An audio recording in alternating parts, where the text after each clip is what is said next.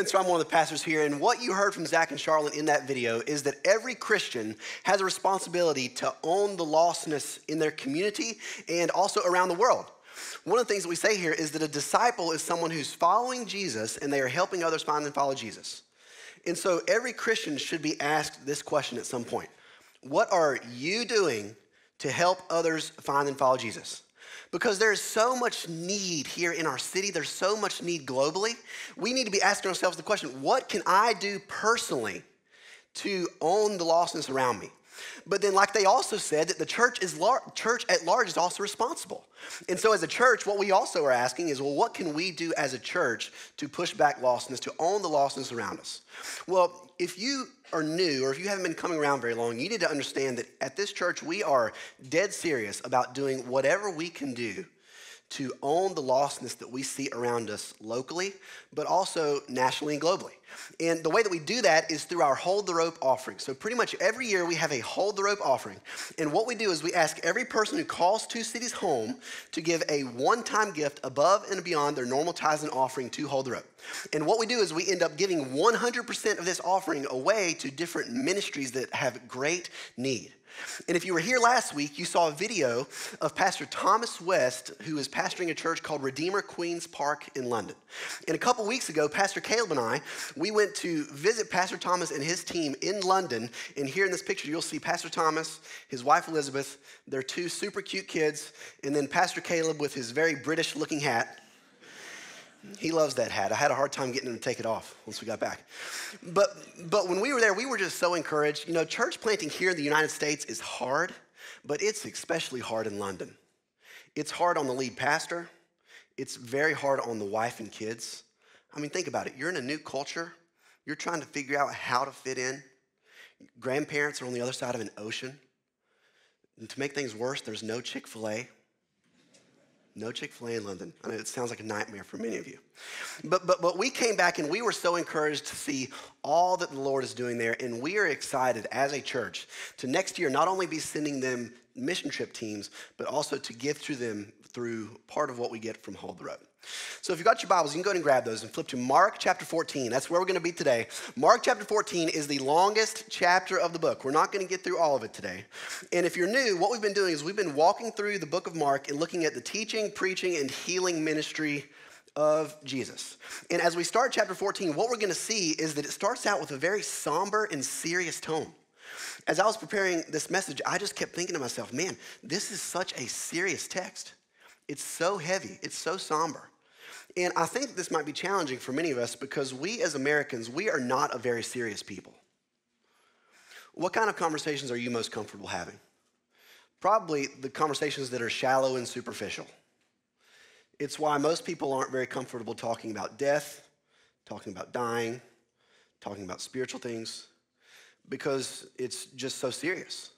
But, but this passage is somber and serious, and I think that it's going to be a very timely passage for us because we are now officially in the Christmas season. And I say officially because I'm personally a traditionalist. And so I wait until after Thanksgiving to start celebrating. And I know some of you like to get a little bit ahead of yourselves. November 1st, you're starting to celebrate Christmas, but it is now officially Christmas season. Well, what are we celebrating here at Christmas? So, the culture, they use Christmas as a time to see family, and that's great. And they get presents for, for each other, that's fine. You sort of do a reset before the new year, all that stuff's great. What we are celebrating as Christians is that the Word became flesh and dwelt among us. We are celebrating that Jesus Christ was born. Why was he born? He was born so that he could eventually step into the betrayal that we're going to see starting here in Mark 14. Now, if you've been in church for any amount of time, you know that a big player in the betrayal of Jesus is Judas. Now, this, is, this chapter is going to be the first time that Judas is mentioned, except for Mark chapter 3, and he was just briefly mentioned. And as we look at Judas, what I want you to think is not how could Judas have done such a thing? I would never do something like Judas did in, in that he betrayed Jesus. But what, what I want you to think is how can I see some parts of Judas inside of me? Because we're going to see that, that Judas struggles with a lot of the same things that you and I struggle with. And what's funny is we like to find things in common with Peter and Paul and James and, and those guys, but not Judas. I mean, when's the last time that you heard someone named after Judas? Probably never. We love to name people after, you know, Matthew, Mark, Luke, John, all those guys, but not Judas. But in Mark 14, Mark 14 what we're going to see is we are going to see a picture of devotion and we are going to see a picture of deception. Mark 14, we are going to see legitimate Christianity, true Christianity, and then we're also going to see a picture of counterfeit Christianity. And as we're going to see here, counterfeit Christianity can sometimes be hard to spot. And so let's look together. Mark chapter 14, verse 1. It says this It was now two days before the Passover and the feast of unleavened bread. And the chief priests and the scribes were seeking how to arrest him, Jesus, by stealth and kill him. For they said, Not during the feast, lest there be an uproar from the people. And so we'll stop here. So we are now in the last week of Jesus' life, and we are told that it's two days before Passover. What that means is that it is busy in Jerusalem. We know that there were probably around 2 million people in the city at this time. And so if you're trying to picture this, just think of the North Carolina State Fair if you've been there. Lots of people, lots of games, lots of food, lots of activities, lots of kids, lots of smells. Very busy. So it's two days before Passover, and we're also told that the chief priests and scribes are trying to figure out how to kill Jesus quietly. Well, you might say, well, why quietly? Well, since G- by this point of Jesus' ministry, he had become very popular. And so the last thing these guys wanted to do was, was kill Jesus with all these people in town and start a big riot. And so they're trying to kill Jesus quietly. Let's see, let's keep going, verse 3. And while he, Jesus, was at Bethany in the house of Simon the leper, as he was reclining at table, a woman came with an alabaster flask of ointment of pure nard, very costly, and she broke the flask and poured it over his head. There were some who said to themselves indignantly, Why was the ointment wasted like that? For this ointment could have been sold for more than 300 denarii and given to the poor and they scolded her. There's so much here to talk about, but I'm just going to point out three things. First, we see that Jesus is in the house of Simon the leper. Now, during that time period, as many of you know, if, if someone had leprosy, you couldn't eat in, ha- in the house with them. But what most commentators think is that at this point, or by this time, Jesus had actually healed Simon the leper. And so, a more appropriate way to describe him would have been Simon the leper, or Simon the ex leper, or maybe Simon the healed. But aren't we too quick ourselves to judge people or to label people by who they used to be? It's not helpful. And so we see that Jesus is in the house of Simon the leper. The second thing we see is that a woman comes and she pours perfume on Jesus' head. Now, we know from other gospel accounts that the woman who does this is Mary, who is the sister of Martha, the sister of Lazarus, who not long before this, Jesus had, had raised from the dead. And so this is Mary, and it says that she poured very expensive perfume on Jesus' head. Mark goes out of his way to communicate that this is very expensive stuff. He says that this perfume is worth at least 300 denarii, which would have been a year's wages. And so today, you know, picture someone having a, a bottle of perfume worth $50,000 and then breaking it and pouring it on someone's head. That's what's going on here. It's a lot of money. And what Mary does here, it, it makes you wonder why do we not do extravagant things for Jesus like this? Why do we not do things for Jesus? Why do we not make, make sacrifices for Jesus that are hard for people to understand? Well, there's probably a lot of reasons, but one reason is because it's costly. Doing extravagant things for Jesus tends to be expensive. It's expensive financially, it's expensive relationally, it's expensive with time. But it also might be that we're, we're afraid that we are going to get the same response that Mary gets here, which is the third thing we see that some were indignant or angry and they scolded Mary. They said, Why did we sell, why did we, why did you do this? Why could we not have just sold this perfume and given the money to the poor? What's so interesting here is that in the Gospel of John, we are actually told which one of the disciples spoke up to scold Mary. Guess which one it was? Judas. And John is also very specific when talking about Judas, Judas because the question is, well, why is Judas upset? John actually tells us that the reason that Judas was upset is not because he cared about the poor. The reason Judas was upset is because he was a thief. And we know that Judas was in control of the disciples' money bag. And so, what that meant is that since he was a thief, he was figuring out ways to slowly, creatively, over time, steal money. And in view of this text, I feel the need to ask is this you? Are you a thief? How do people steal today? Most people today don't steal by creating big Ponzi schemes or stealing people's iPhones or going to rob banks. We, we tend to be much more careful and discreet today with stealing.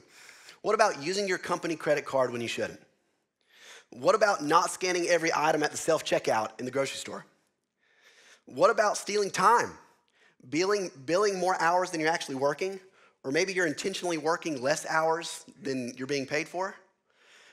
Last night after the 5 p.m. service, I had an older man walk up to me and he said, You know, sometimes at work, I'll be, I'll feel tempted to take some small things. And I feel like I have a little voice in my head that's telling me, It's okay. It's not a big deal. But, but I know that this is a specific temptation for me. A buddy of mine that I went to college with, he doesn't go to this church. He lives in eastern North Carolina. He's got two young kids, and, and he told me last week, he said, at my church, we were doing a diaper drive for a, a pregnancy care center. And he said, I was, I was tempted to steal some of the diapers. He said, but I didn't. And I thought, this is exactly the kind of thing that we are tempted to do. Nothing drastic, not, you know, we're not creating big Ponzi schemes, but little compromises where we are tempted to steal. We are tempted to be thieves. Judas was a thief. And so what we see is that Mary pours expensive perfume on Jesus' hair. Judas scolds her. Now let's see how Jesus responds. Let's look together at verse 6. But Jesus said, Leave her alone. Why do you trouble her? She has done a beautiful thing to me. For you always have the poor with you, and whenever you want, you can do good for them, but you will not always have me. She has done what she could. She has anointed my body beforehand for burial. And truly I say to you, wherever the gospel is proclaimed in the whole world, what she has done will be told in memory of her. So, what Mary had done here seemed to be totally wasteful. I mean, think about it. It would have been pointless for Mary because she, at this point, she didn't really need anything from Jesus. He had just raised her brother from the dead. And now she was out of a big, expensive bottle of perfume. And then it was also pretty pointless for Jesus. I mean, this perfume would have lasted a day or two anyway. And who was Jesus trying to impress? But what Jesus says here is, He says, What Mary has done for me is beautiful. She has done a beautiful thing for me. Because what she has done is she has given us a picture of how worthy and valuable Jesus is. Mary is giving us a picture of gratitude and worship. What worship is, is worship is just responding rightly to who God is. That's all worship is.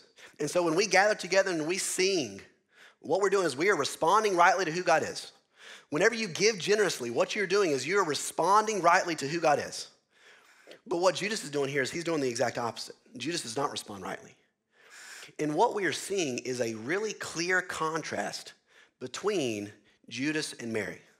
Because Mary over here, she is willing to forfeit her wealth for Jesus. Judas is willing to forfeit Jesus for wealth. Mary is a giver, Judas is a taker. Mary loves Jesus. Judas loves money. Mary is generous. Judas is critical and he's hypocritical. He's critical of Mary, he's hypocritical before God. And what we see here is that Jesus is not having Judas's critical spirit. J- Jesus looks at Judas and says, Leave her alone. Because what Judas is trying to do here is he's trying to rain on Mary's parade. Mary is, Mary is trying her best to show others how valuable and worthy Jesus is, and Judas is trying to dampen it. And so, one of the things that we say here is we as a church, we want to be full of, we want to be a church full of people who have critical minds, but not critical hearts. Yes, we want to think critically about things, we want to analyze things well, but we don't want to do things with a critical spirit like we see here in the life of Judas. And then we also see in verse 9 that Jesus says that Mary's legacy forever is going to be a love for him. And when you think about what kind of legacy you want to leave, is that not it? I mean, what sounds better to you? Yeah, he really just loved Jesus and loved his family. Or Yeah, he just really loved money and he was willing to sacrifice a lot of things for it. Well, obviously, we would much rather be known for someone who, as someone who just loves Jesus. And so Mary and Judas, they give us a vision and they give us a counter vision here. Now let's see what Judas does next. Picking up in verse 10. It says this Then Judas Iscariot, who was one of the twelve, went to the chief priests in order to betray him to them. And when they heard it, they were glad and promised to give him money. Excuse me. And he sought an opportunity to betray him. Two things here. First thing we see is that Judas is going out of his way to betray Jesus. It says he sought an opportunity to betray him. Now, it's one thing to sin, it's one thing to, to mess up, but it's an entirely different thing for sin to be totally premeditated, for, to be to, for, for sin to be totally planned. This is the guy who is, who is planning on his wife leaving in a couple hours so that he can get on some websites that he shouldn't. This is the girl who is, in, is planning to dress in a way that's provocative in order to attract a guy's attention. This is the guy who's making all sorts of plans on Friday night and he's rearranging his entire weekend because he plans on drinking too much on Friday night. There's something uniquely evil about seeking opportunities to sin. And so that's the first big idea. The second thing we see is that Judas was willing to sell Jesus out for a price. Now, when we read this text, Judas betraying Jesus is honestly pretty terrifying for multiple reasons. One of the reasons it's terrifying is that Judas was thought of as being a trustworthy guy. How do we know that? Well, like I said earlier, we see in other parts of the scripture that Judas was elected to carry, the money bag for the disciples. If, if he were thought of as being some sketchy guy, they probably wouldn't have voted him money bag holder. I mean, w- would you pick the sketchy guy to do your taxes? I hope not. But for some reason, when we think of Judas, we like to think of Judas as being this clearly sketchy guy who's doing all these things that are just a little bit dark. You know, we, we picture Judas telling inappropriate jokes when Jesus is not around. We picture Judas going to skip class and to vape with his friends. We, we picture Judas as cheating at card games. But that is not how Judas was thought of. He was clearly thought of as being trustworthy. And then the second thing that's terrifying about Judas is that he had been in the inner circle with Jesus for three years. Three years he had been with Jesus the entire time. And so here's what that means Jesus was Judas's community group leader. Jesus discipled Judas. Whenever Judas had a question about theology, he didn't have to Google it, he didn't have to go ask anybody else, he could just ask Jesus. When Jesus gave his Sermon on the Mount, Judas was right there, listening to it in person.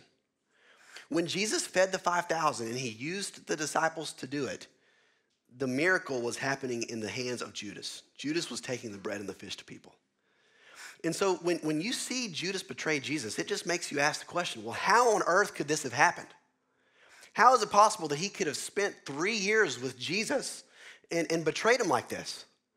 Well, there's two reasons that I could think of. The first, we're going to talk about this later, is that Judas was never actually a Christian. And that brings up another big question How is it possible to spend three years with Jesus Christ and not become a Christian? And the answer to that is we don't know. It's a mystery. It's something we just are not able to understand. But here's what I do know in a room this size, there are many of you who have wayward children, children who are not walking with the Lord. Maybe you have a sibling who's not a Christian or a best friend who's not a Christian, and you just beat yourself up over it. It just breaks your heart. You think, well, maybe we should have sent them to a different school. Maybe we should have paid a little bit more money to send them to a Christian school. Maybe we should have sent them to a different church so they could have had more Christian friends. We should have done more of this. We should have done less of this. We should have had more devotional time as a family. In view of what we see with Judas in this text, I think that you need to hear this. Number one, could you have done some things differently? Sure. But you did the best you could with where you were. And even Jesus lost one. I mean, think about it. Did Judas have good Christian friends? Oh, yeah. Did Judas have a good Christian teacher? Yeah. His teacher was Jesus. It doesn't get any better. And so, if you are here and you are heartbroken over a child who is not walking with the Lord, you need to understand that Jesus knows exactly how you feel because one of the 12 wasn't a disciple or wasn't a Christian. And so that's one reason that, that Judas betrayed Jesus. He wasn't a Christian. The second reason that we're going to see is that Judas had a price. A reason that he betrayed Jesus is he had a price. Do you have a price? I was thinking about this a lot this week, and I, I asked a friend of mine who just got a brand new puppy. I asked him this. I said, let's, let's say for some reason, just, just bear with me here. Let's say that someone offered you $25 million to very gently and compassionately have that puppy put to sleep. Would you do it? And he thought about it for a second and he took a deep breath and he said, I would do it. I would do it. I'd feel bad about it, but I'd do it. He heard me say this earlier and he wanted me to share with you all that he's, he's like, remind them that I said I would buy a new puppy. Okay, communicated. but, but, but after he said that, I was like, okay, fair enough. $25 million is a lot of money. But I said, well, what about $25? Would you do it for 25? And he said, no, of course not. I thought, okay. Well, what we had established in that moment is that he had a price for which he would do something terrible. It's just a matter of what that price was. And so my question to you is, is what is your price? Now, again, I'm, what I'm not, I'm not asking, I'm not saying, you know, some of you are willing to actually sell Jesus out and recant your faith or renounce your faith for a price. That's not what I'm asking. But what I am saying is, do you have areas of your life where your commitment to Jesus stops? For some of you, you are committed to Jesus until it's just not convenient anymore. Over the last 10 years, I have seen far too many college students be very, be very plugged into the church, be very plugged into a college ministry. They're coming to all the events because it's very convenient. But then they move to a different city and it's, it's not as convenient anymore and they just, they just fall away.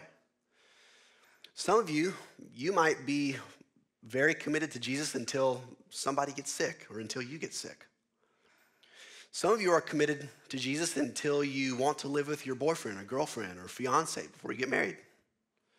But that's where your commitment stops. Like, I'm not committed enough to actually walk away from this. Some of you are committed to Jesus until you feel convicted about giving 10% of your income to the kingdom of God. In view of what we see with Judas here, in view of how he sells Jesus out, we need to ask ourselves at what point does my commitment to Jesus stop and I sell him out. This is why we need accountability. This is why we need community. We need people to help us with this. This is why we need to be praying and asking God to help us. In Psalm 19, David says, Lord, would you keep your servant back from presumptuous sins? Let them not have dominion over me. We need help from God and we need help from each other. Let's go to verse 12.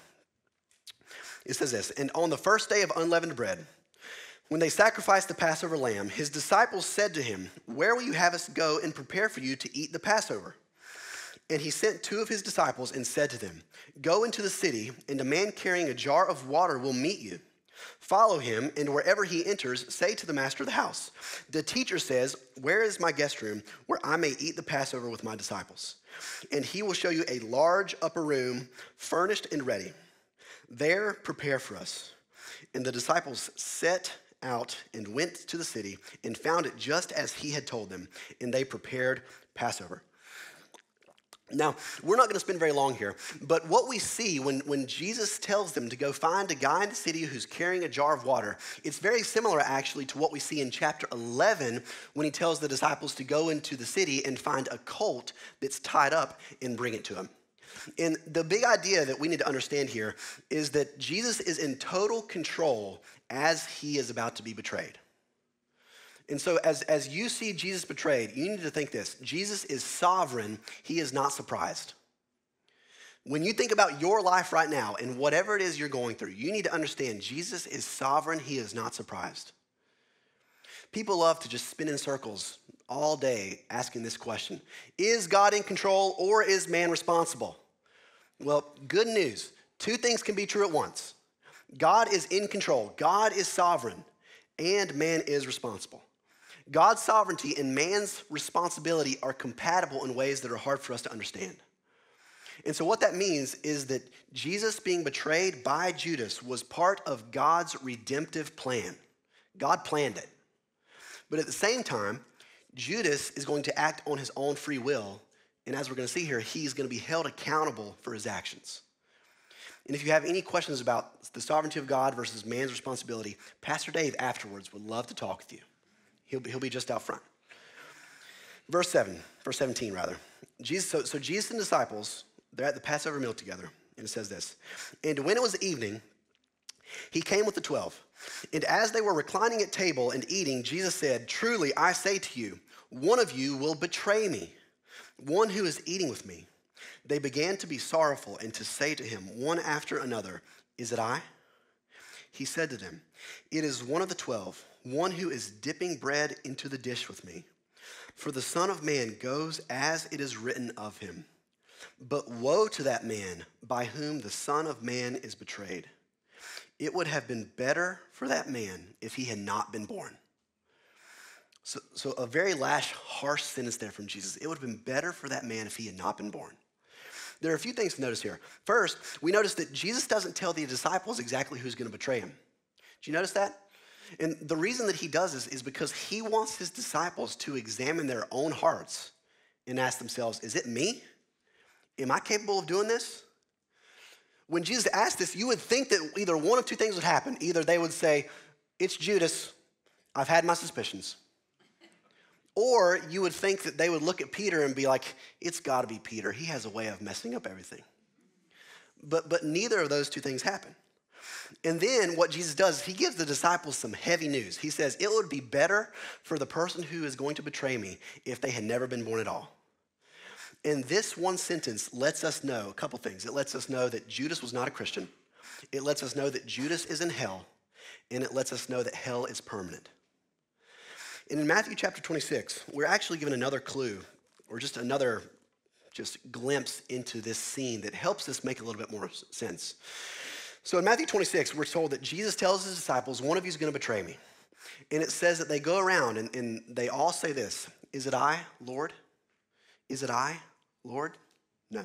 Is it I, Lord? No. And then it says we get to Judas. And Judas looks at Jesus and he says this Is it I, Rabbi? Hmm. Interesting. You see, the reason that Judas was not a Christian is because he never acknowledged Jesus Christ as Lord. He only viewed him as a teacher. And in a room this size, I have to wonder are any of you in that boat? You might be in here. You grew up in a Christian home. You like coming to church. You enjoy singing the songs. You, you, you can say the right things. You sometimes lift your hands when we, when we worship. All that stuff's great. You love that your kids are here, your grandkids are here because they're, they're getting a good sense of morality, and that's great. But at the end of the day, Jesus is, is not really Lord of your life. He's not really in control. He, he's just a teacher. I heard a pastor who was talking about this idea of, of Judas and being, you know, viewing someone as, as Lord instead of teacher. And he said one of the things we learn in the life of Judas is you can't, you, um, you can't lose your salvation, but you can fake it. You can't lose your salvation, but you can fake it. We know as we look at the scriptures that you cannot lose your salvation. Salvation is when God sovereignly speaks life into someone that was dead. And so you can't lose your salvation, but you can certainly lose your assurance of salvation. And I'm sure there are many of you in here who have friends or family members who, who you, you would say, I was sure at one point in my life that they were a Christian, but now they're not walking with the Lord. What about them? Like, how do I make sense of this? I just knew this person was a Christian. We used to go to all these things together, and, and it's just, it just doesn't make sense to me. Well, this is actually a very personal topic to me. So, about a month ago, I was talking to um, an old roommate of mine from UNC Chapel Hill. I love this guy. We don't talk very often now, but we have a great relationship. And this guy, um, we lived together for two years. We used to go to church together. I was sitting beside him when he decided to get baptized. I watched him get baptized. We went to church together. We had lots of spiritual conversations together. But recently I heard that he was doing some things that I found a little bit worrisome. And so I reached out to him and I was like, hey man, how are things going? You know, just wanted to check in, you know, just help me understand this. And he, and he said to me, he said, he said, hey man, you know, I think it would be helpful for me to tell you that I don't identify as a Christian anymore. I identify as agnostic. And I hear this and I'm just like, man, how do I process this? And as I was thinking about it, I, you know, I could really think there are really only one of two options for my friend. Number one, he either actually is a Christian, he's just lost his assurance of salvation because of the lifestyle he's been living. Or the second possibility is that he was never a Christian in the first place, he was just faking it. Counterfeit Christianity, as we see in the life of Judas, it can be hard to spot, especially here in the Bible Belt. Now let's pick back up in verse 22. So we know at this point, as we jump into verse 22, that Judas had actually just left the dinner to betray Jesus. And it says this And as they were eating, he, Jesus, took bread, and after blessing it, broke it and gave it to them, and said, Take, this is my body. And he took a cup, and when he had given thanks, he gave it to them, and they all drank of it. And he said to them, This is my blood of the covenant, which is poured out for many. Truly I say to you, I will not drink again of the fruit of the vine until that day when I drink it new in the kingdom of God. What's happening here is called the institution of the Lord's Supper. And what we're going to see is that the Lord's Supper or communion, it is a tradition that is connected back to the Passover meal. And the Passover meal is a tradition that is connected back to the Passover that we see in Exodus chapter 12. Now, the problem with traditions is that we often forget their meaning. I mean, think about it. What is Halloween for most of us? It's a tradition without a meaning.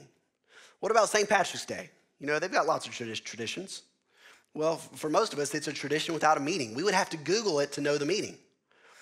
Well, what if someone had come up to you before the service and said, Could you explain to me very simply, in one to two minutes, what is the meaning of communion?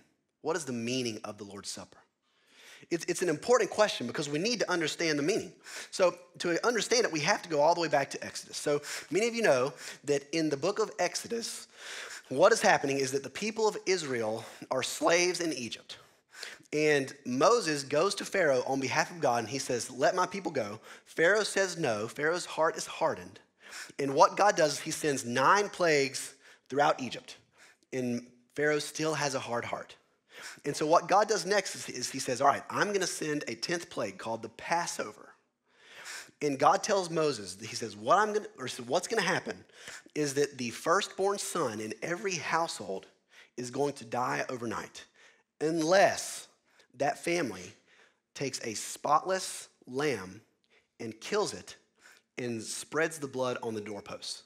And for those families, for the families who have faith in the God of the Bible and a substitute, a lamb, God's wrath is going to pass over their house and the firstborn is going to be spared. What's also really interesting about Exodus chapter 12 is you can look and you will see that God gives lots of description about what the Passover meal should look like. He, he explains to them what the Passover meal needs to look like before the Passover even happens. And the reason he does this is because the meal itself is going to be important, and he does not want the people to forget how he rescued them from slavery in Egypt. And so, what's happening in Mark 14 is Jesus is at the Passover meal with his disciples, and he takes the bread and he gives it to his disciples. He says, This is my body. He takes the wine, he gives it to him. He says, This is my blood. And what he is doing here is he is making a 1500 year old tradition about himself. And this would have been shocking to the disciples. Because Jesus is basically saying, in the same way that the Passover meal is meant to remind you of how God saved you from slavery, the Lord's Supper from here on out is going to be how you remember me. And then we are given the Lord's Supper or communion. Now, in a room this size, I'm sure that you are all over the map when it comes to your experience in the past with the Lord's Supper. Some of you, you grew up in a church where you did not do communion very often. You might have done it once a month, you might have done it once a quarter. Last night after the 5 p.m., I had a lady come up to me and she said, The church that I grew up, grew up in, we did communion once a never. So, okay, some of you may have done communion once a never growing up. You know, this, this tends to be uh, Baptist churches, it tends to be Methodist churches sometimes, it tends to be charismatic churches. This was my experience. I grew up in a small Southern Baptist church of less than 100 people, and I can remember about once a quarter, they would pass around the silver trays, and we would have the little cups with juice in them, and they would give us a little cracker that was stale and seemed older than I was. And, and we would just take it, and it wasn't a huge deal, but that's what we did. And so that was some of your experiences, but some of you grew up Lutheran or Anglican or Presbyterian, and you may have taken communion every week. Some of you grew up Catholic, and you received the Eucharist every week from a priest. It, it was a big deal for you. In the Catholic Church, they hold to a position called transubstantiation, which is a big word. But transubstantiation is basically the belief that during communion, the bread and the wine become the literal and actual body and blood of Christ. Now, here at this church, we believe that all of Scripture is meant to be taken literally. But there's two kinds of literal there's actual literal, and there's figurative literal. And so, for example, let's say I were to go over to the kids' building, grab my one year old daughter Emma, bring her over here, and say, Emma, you are just so cute, I could just eat you up. Now, if you heard me say that, would any of you call Child Protective Services and be like, this pastor at Two Cities is threatening to eat his child? No, of course not. I'm speaking figuratively. Well, what about examples from Jesus? Jesus also says, I am the vine, you are the branches. But Jesus doesn't have leaves. Jesus says, I am the door, but Jesus doesn't have hinges. And we, we see in the book of Romans that, that Paul says that we are bab- baptized with him unto death. But if you have been baptized here as a believer, in case you didn't know this, you did not actually literally die. And so, what we believe here is that when Jesus says, This is my body and this is my blood, is that he is speaking figuratively. And even though Jesus is not actually present in the bread and the juice, the Holy Spirit is present in his people during communion. And we believe here that communion is a very sacred time where we are called to remember the cross and to remember what God has done for us on our behalf. And so, what Jesus is doing is he is saying the Passover is ultimately about me. He's saying the Lord's Supper is going to be how you remember me. And there's one final detail that, as I was studying this passage, I, I, noticed that I thought was really interesting that I wanted to share with you as we wrap things up here is that at every Passover meal, there would normally be four things. There may have been more than this, but certainly not less than this. Every Passover meal, there would be bread, there would be wine, there would be herbs, and there would be lamb. In Mark 14, if you'll notice, there is no mention of a lamb at all. There's no mention of meat, which is sort of strange because you know it's, it's a big part of the meal. It's, it's, it's the meat. And you might think, well, maybe it's mentioned in one of the other accounts. Nope. You can look in Matthew, you can look in John, you can look in Luke. There's no mention of a lamb. And you might say, well, maybe the disciples are vegetarians. I don't think so. Probably not the case. Well, what is happening at this meal is, and the reason that this is the case is because Jesus Christ is himself the Lamb. He is saying, I am the Lamb of God. I'm here. You see, in the Old Testament, what would happen is, is that the wrath of God would pass over the house of anyone who had sacrificed a lamb who was a spotless, innocent substitute. Does that sound familiar at all? Because here, here today, any person who has faith in the Lamb of God, Jesus Christ, who was a spotless, innocent substitute, will be spared from the wrath of God. You see, the heart of the gospel is put on display here at the Last Supper, here with communion. And the heart of the gospel can be summarized with this one word substitution. A couple weeks ago, when I was in London, Pastor Caleb and I were on a Christian heritage tour. And one of my best friends, JT, and his wife Caroline, they were on this tour as well. And it was really cold this morning. It was like 40 degrees. We were in the shade. We were listening to the tour guide. JT was standing right beside me. His wife Caroline was standing on the edge of the group. And as I was listening to the tour guide, I noticed the wind started to blow just out of nowhere, just really hard from one direction. And as I was listening to the tour guide, I, I, noticed that JT had slipped off from beside me and he had walked back around his wife, Caroline, and he stood behind her so that the wind would hit him and then it would pass over her and she wouldn't be cold. And I, I saw this happen, and I just thought, this is just a small picture of the gospel. Because, in the same way that JT shielded Caroline from the cold wind, what Jesus Christ has done for us is he has shielded us from the wrath of God by becoming our representative substitute. He has done this by receiving the wages of our sin in our place. And so, if you're in this room and you're a Christian, you need to understand that Jesus Christ did not just die for you, Jesus Christ died instead of you. And what we do during communion is we remember what Christ has done for us on our behalf. And if you're here and you're not a Christian, you need to view this passage as a warning and an invitation. It's a very serious warning. Jesus gives us the verdict on what happens to someone who does not acknowledge him at Lord. It says that he would have been better to have never been born. So it's a harsh verdict, but at the same time, it's a very generous invitation. Because what Jesus Christ does is he holds up the bread and he says, Take. And if you're not a Christian right now, what he is doing is he is offering to you right now his gift of salvation for free. He, he just says, You have to receive it. Forgiveness, acceptance, adoptance, adopt, being adopted by God is something that is given to those who have faith and who repent. May we be a church that is full of people who is quick to remember our great substitute, the Lamb of God who stood in our place. Let's pray together.